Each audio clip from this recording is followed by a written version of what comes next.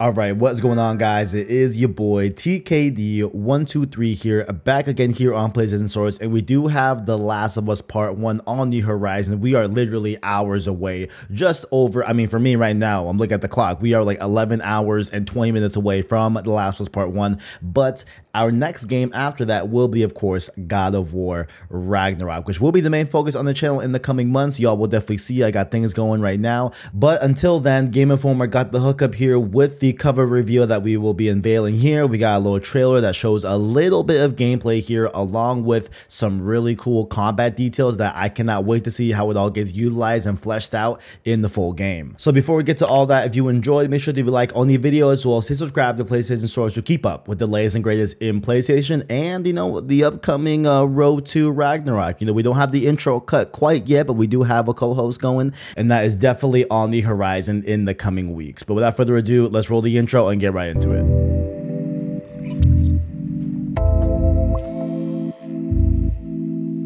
Starting off here, let's just take a good look at the cover here for Game Informer. Yes, we do have the thumbnail, but here it is in its full glory. I love this cover. This cover looks lit, and it definitely is reminiscent of the God War 2018 cover as well in a similar vein, but I really love this fashion, really love this styling. Very, very good stuff here with this cover reveal. But this will kick off Game Informer's month-long coverage where they have a bunch of different details and info, which we will talk about some of the info here with the combat details, but we did have Andrew Reiner, the editor-in-chief over at Game Informer, say a few things about the nature of gameplay as we all want so desperately here. So he says that they have about four minutes of gameplay to show, and I'm pretty sure he means like four minutes in total of this entire month of coverage, right? Which is kind of low, I'm not gonna lie, you know, definitely a little bit low on that standpoint, but maybe there will be more in the future. But with these combat details, he did not provide footage here, as according to this tweet, when he says no footage with these God War Ragnarok details. More on that in the days to come. So he does say days to come. So hopefully we are just a few days away, perhaps next week, early next week, where we could get some God War gameplay, and we will definitely have that here on the channel to share with you guys. But uh, definitely might be God War Ragnarok gameplay here in the coming days, according to Andrew Reiner. All right, y'all, what's good? From the editing booth here, I was about to hit export, but then my homie Caleb Kaiser on Twitter, much love to you, bro. He had a tweet go out to inform me that Game Informer will be having a gameplay video coming out tomorrow as of this upload, Friday, September 2nd. It's called Combat that lets you play with your food or something like that. It's the riff off of the quote that we go over here in this video that you're watching, and I can't wait. So we're seeing gameplay tomorrow for God of War Ragnarok. Catch it here on the channel. I'll be breaking it down and all that great stuff. And uh, yeah, definitely tune in tomorrow for some God of War Ragnarok gameplay. But with this Game Informer cover reveal trailer, it's about a minute long. We do get a little bit of new gameplay here that you can see here on the screen. I did link this trailer below in the description if you want to go check out that reveal trailer. Not much there, just them, you know, announcing that God War Ragnarok will be the focus of their month-long coverage for the game. And we did get a little bit of new gameplay here with some new abilities that Kratos is doing with his axe, as well as I think he does some stuff with the Blades of Chaos. And then we have a new type of uh, elemental uh, arrow that Atreus fires that I think think we get details on in the combat breakdown here later on in the video. But uh, definitely really cool gameplay to see. You know, the game's looking great. Definitely need to see more. Definitely need to see a full, you know, HD full on video about the actual combat and look at the gameplay and stuff like that. But so far, so good. And lastly, here in the main focus here on this video is the combat details that were given to us in this first info drop about God of War Ragnarok with Game Informer. So once again, link below in the description to this full article. I pulled out the very juicy and very, uh, you know, informative uh, things in this article, and we're going to talk about here on today's upload. So first up here, I want to just highlight and read this quote here from the lead combat designers over at Sony Santa Monica named Mihir Sheth and Denny Yeh, and they talk about how the overall combat philosophy for God War Ragnarok revolves around the phrase playing with your food, and they go into this quote here where they say here, quote, that's an internal philosophy that we've had since back in the day. Kratos plays with his food. We tried to create systems you want to engage with that are fun, very playful and has lots of different routes. And when we looked at the combat in the last game, we were like, we can push this further. We can find new toys and ways of playing with enemies and strategies. That's been the guiding principle more than anything else, which is really cool to see that, you know, they are thinking about the expansion of the combat from 2018's God of War. So they move on to say that they saw about 7 minutes of gameplay with Kratos and Atreus fighting these bipedal lizards called Grims, but they also say that Atreus can lock enemies in place with these new sonic arrows that also fill stagger bars and enemies. So we may actually have seen this in action in the little bits of gameplay that we got from the cover reveal trailer for Game Informer,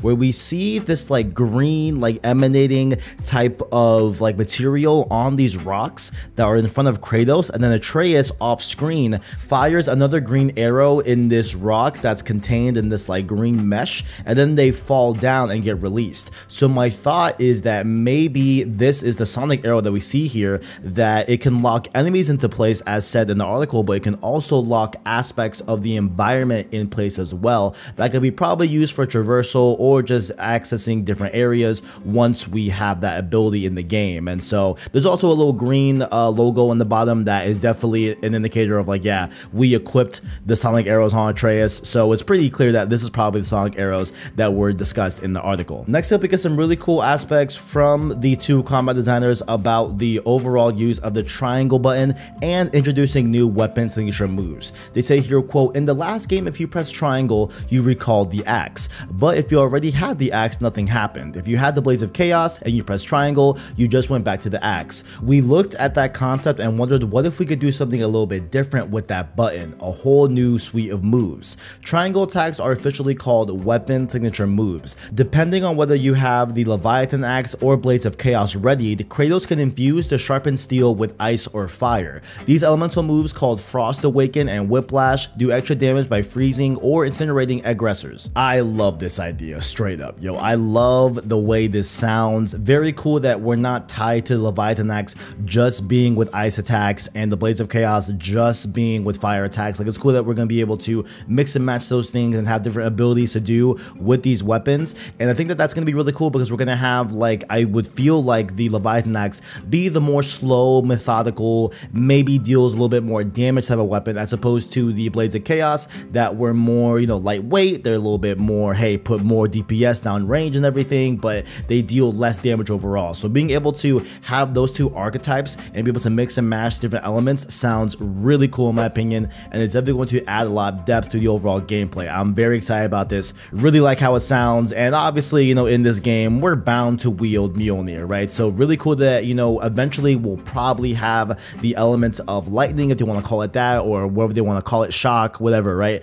But being able to mix lightning with the axe, lightning with the blades, having to, you know, mix or use ice with the hammer, fire with the hammer, like it's going to be awesome. But in their continued way of expanding the combat, they have also done so with the shields. So they highlighted two different shields that we'll be able to wield in God of Ragnarok. The first one being the Dauntless Shield. It's about reactions and when parrying at the last moment, the shield will emit a red light that can unleash a devastating smash that stuns and tosses enemies. So this is kind of like a light shield if you will and I assume it's to be very quick to use, very agile and all that. And we actually see a screenshot of this in the screenshots that they unveiled with this article. So really cool to see in action, very cool and sounds like awesome where like, hey, if you are, you know, good at parrying and you're able to get that last second parry in, you're going to be rewarded with a very high impact devastating smash. Very cool stuff there. But the other shield they unveiled is the Stonewall Shield. So this is going to be for slower pace engagements and you cannot parry with this shield at all. But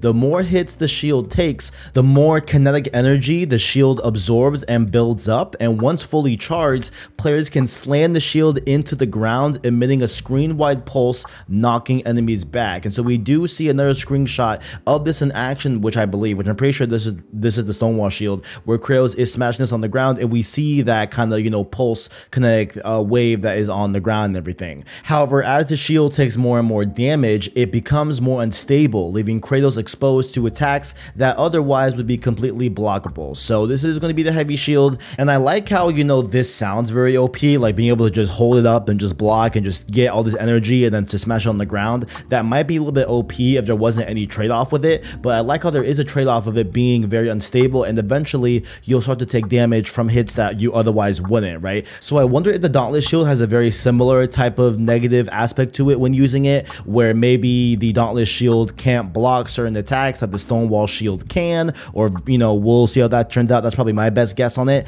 But I definitely like their pros and cons to both these shields, but definitely I'll probably lean towards that Dauntless Shield. You know what I'm saying? I need that. I need that time parry. You know what I'm saying? I need that. I need that. And they do end off this article with some more details about Ragnarok as a whole. So there will be more shields available in the game to utilize other than the Dauntless and the Stone Wall. So I can't wait to see what other shields they have in the game. Very cool to see that as well. And they also do confirm that enemy aggression and lethality would be heightened in harder difficulties. That's definitely not a new aspect or a shock or anything like that, but they do, you know, say that there will be definitely harder moments in every setting of every difficulty, but definitely the harder ones are going to be the most where you're going to get the most aggression and lethality overall in the game. And they do promise that the side content in Ragnarok will be as gratifying as God of War 2018. So bottom line, man, I'm really enjoying the way this is sounding, man. This is sounding great. Cannot wait to see what comes from this. And I'm very hyped to see some more shields. And we, I think for me, the one thing that is definitely sticking out is the weapon signature moves and the different elemental infusions that you can do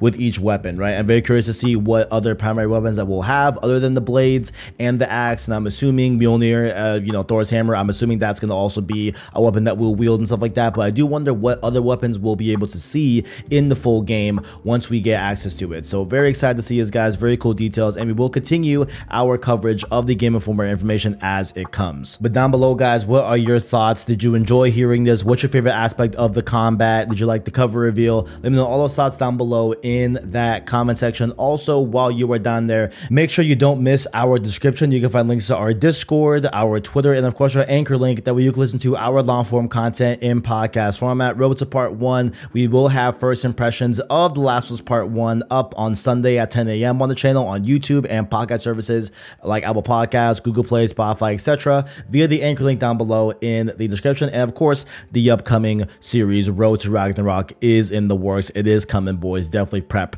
for that. Like the video if you enjoyed it as well. Stay subscribed to PlayStation Source to keep up with the latest and greatest in PlayStation. Thank you all for watching, and as always, greatness awaits.